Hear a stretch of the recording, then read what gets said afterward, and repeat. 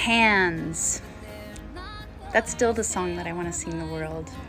If I could tell the world just one thing, it would be that we're all okay. It makes me emotional. It always has. I wrote it for myself and not to worry because worry is wasteful and it is useless in times like these. I will not be made useless. I will not be made idle with despair. I will gather myself around my own strength, for light does the darkness most fear.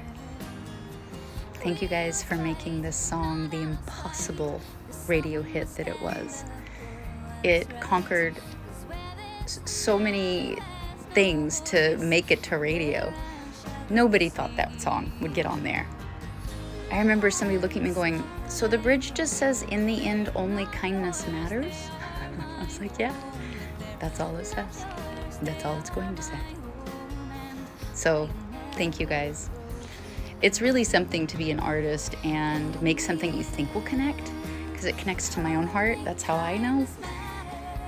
And to have so many people say it'll never work and then to have it connect to all y'all's hearts, that's magical stuff. It makes somebody, it makes us powerful. It takes all of us. It's circular, you know? And that's what's really cool about art. Uh, yeah, it's between the artist and the audience. That's a beautiful thing. It's given me an entire life. So thank you guys.